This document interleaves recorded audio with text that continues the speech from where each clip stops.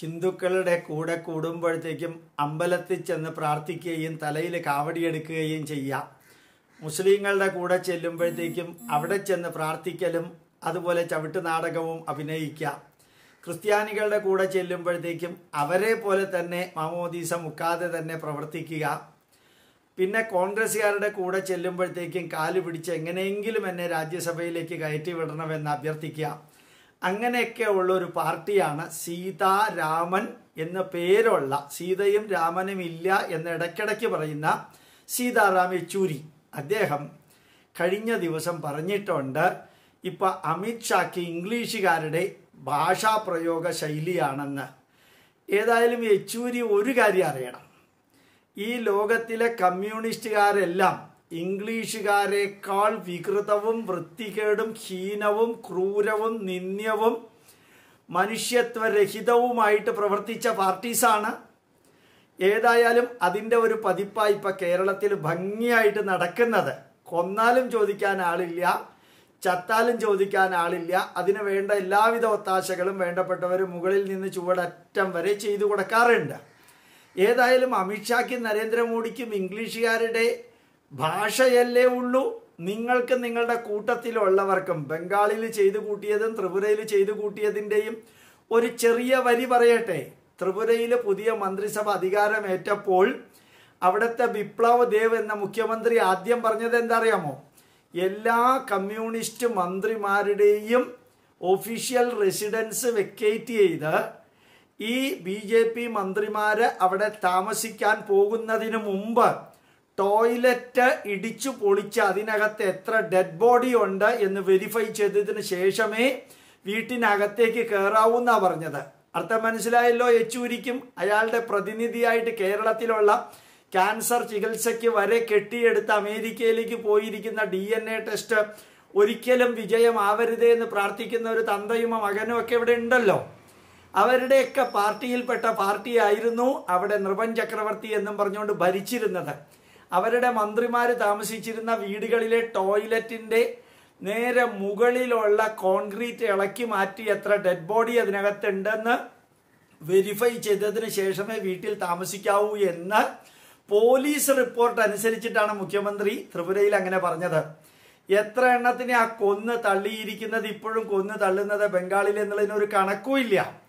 ഇതൊക്കെ വേറൊരു രീതിയിൽ കോൺസെൻട്രേഷൻ ക്യാമ്പുകളിലും സെല്ലുലാർ ജയിലിലുമൊക്കെ നമ്മുടെ ആൻഡമാനിൽ ഇംഗ്ലീഷുകാർ ചെയ്തു കൂട്ടിയതാണ് കമ്മ്യൂണിസ്റ്റുകാർ ചെയ്യുന്നത്. ഏതായാലും അമിത്ഷായുടെയും നരേന്ദ്രമോദിയുടെയും ഭാഷ മാത്രമല്ല ഇംഗ്ലീഷുകാരുടേതുള്ളൂ.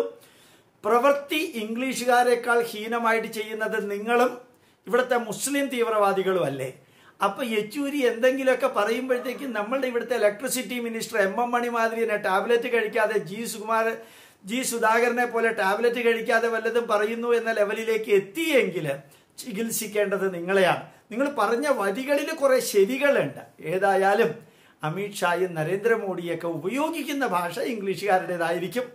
എന്താ കാരണം? നിങ്ങളെയൊക്കെ വരച്ച വരയിൽ നിർത്താൻ ഇംഗ്ലീഷുകാരുടെ ടെക്നിക്കാ നല്ലത്.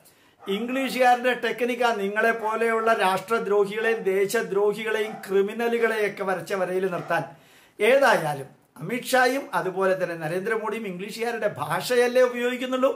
അവരുടെ പ്രവൃത്തി ഏറ്റെടുത്തിരിക്കുന്നത് ഇന്നത്തെ പത്രം നോക്കിയാൽ അറിയാം. ഈ മഹാമുഖ്യമന്ത്രി അധികാരം ഏറ്റെടുത്തിന് ശേഷം കേരളത്തിൽ എത്ര കൊലപാതകം നടന്നിട്ടുണ്ട് എത്ര ലൈംഗികമായിട്ടുള്ള ക്രൂരതകൾ നടന്നിട്ടുണ്ട് എത്ര സ്ത്രീകളെ തകർത്ത് തരിപ്പണമാക്കിയിട്ടുണ്ടെന്നുള്ള ലിസ്റ്റ് കമ്പ്യൂട്ടറിൽ നിങ്ങൾക്ക് ലഭ്യമാകുന്ന വിധത്തിൽ പത്രത്തിലുണ്ട്. ഏതായാലും ഇംഗ്ലീഷുകാരുടെ പ്രവൃത്തി സ്വയം ഏറ്റെടുത്ത ഒരു മുഖ്യമന്ത്രിയുടെ പാർട്ടിയിൽപ്പെട്ട എച്ചൂരിയോ എച്ചിലൂരിയോ എന്തോ ഒരു സാധനം. നല്ല ഭംഗിയായിട്ടുള്ള കമന്റാണ് കേന്ദ്രം ഭരിക്കുന്നവരെ കുറിച്ച് പറഞ്ഞിരിക്കുന്നത്. പിന്നെ നമ്മുടെ മുഖ്യമന്ത്രിക്ക് ഇരുട്ട് വറക്കുന്നു എന്നും പറഞ്ഞിട്ടുണ്ട്. തീർച്ചയായിട്ടും ഇംഗ്ലീഷുകാരുടെ ഭാഷാപ്രയോഗം കേന്ദ്രത്തിൽ ഉണ്ടായാൽ അതൊക്കെ കൃത്യമായിട്ട് ഇംഗ്ലീഷുകാർക്ക് അടുക്കും ചിട്ടയും ഉണ്ട് പങ്ക്ച്വാലിറ്റിയും ഉണ്ട്. ഡിസിപ്ലിനും ഉണ്ട് അതൊക്കെ ചിലത് ചെയ്തിരിക്കും. പൗരത്വ ബില്ല് പൗരത്വ ബില്ലിനെ കുറിച്ച് കൃത്യമായിട്ട് നമ്മുടെ മുഖ്യമന്ത്രി ഒന്നും പറയാത്ത സ്ഥിതിക്ക് അടുത്ത ആഴ്ചയോ അടുത്തതിന്റെ പിന്നത്തെ ആഴ്ചയോ മുതൽക്ക് പൗരത്വ രജിസ്റ്ററിൽ രണ്ട് വിഷയം ഒഴികെ അച്ഛൻ ആരാണെന്ന് കൃത്യമായിട്ട് അമ്മയ്ക്ക് അറിഞ്ഞുകൂടെങ്കിൽ അത് എഴുതണ്ട. അച്ഛന്റെ പേരും കൃത്യമായിട്ട് അമ്മയ്ക്ക് അറിഞ്ഞുകൂടെങ്കിൽ എഴുതണ്ട. എവിടെയാ അച്ഛനും അമ്മയും ജനിച്ചതെന്ന് എഴുതി അറിഞ്ഞുകൂടെങ്കിൽ അതും എഴുതണ്ട. ഇങ്ങനെയുള്ള രണ്ടര പോയിന്റുകൾ ഒഴികെ ബാക്കിയെല്ലാം ഫില്ല് ചെയ്യണമെന്ന് പറയാൻ കേന്ദ്ര ഗവൺമെന്റ് ഉദ്യോഗസ്ഥന്മാർക്കുള്ള ട്രെയിനിങ്. ട്രെയിനിങ് ആരംഭിക്കുന്നത് ഫെബ്രുവരി ഒന്നാം തീയതി നാളെ മുതൽക്കാണ്. അപ്പൊ പിന്നെ ഇവിടെയുള്ള യെച്ചൂരിയും യെച്ചൂരിയുടെ തലതൊട്ടപ്പനും പിന്നെ ഒരെണ്ണം നമ്മുടെ കട്ടിലിൽ കിടക്കുന്നുണ്ട്. അന്ത്യശ്വാസം വലിച്ചുകൊണ്ട് വി എസ് അച്യുതാനന്ദൻ ശമ്പളവും മേടിച്ചുകൊണ്ട് അന്ത്യശ്വാസം വലിക്കുന്നത് ഇതൊക്കെ ചെയ്യുന്ന പാർട്ടീസിന് നല്ല ലെനിന്റെയും സ്റ്റാലിന്റെയും ജിങ് പോങ്ങിന്റെയും ഒക്കെ സ്വഭാവവും പ്രവൃത്തിയും ഒക്കെയാണ് ഉള്ളതെങ്കിൽ അത്രയൊന്നും പ്രവർത്തിക്കാതെ കാര്യങ്ങൾ പറയുക മാത്രം ചെയ്യുന്ന അമിത്ഷായുടെ മെക്കെട്ട് കയറാൻ എന്തിനാ ഇച്ചൂരി പോകുന്നതെന്നുള്ളതാണ് ചിലർക്ക് സംശയം. ചെന്നിത്തലയ്ക്ക് സംശയമില്ല കാരണം തലയ്ക്കകത്ത് ഒന്നും ഇല്ലാത്തത് കൊണ്ട് അച്ഛൻ നേരത്തെ ഇട്ടിരിക്കുന്ന പേരാണ് ചെന്നിത്തല എന്നുള്ളത്. ഏതായാലും ബാക്കിയുള്ളവരുടെയൊക്കെ വരികളൊക്കെ നല്ല രസം തോന്നുന്നുണ്ട്. കേട്ട് കേൾപ്പിക്കാൻ വളരെ സന്തോഷമായി ഇതൊക്കെ.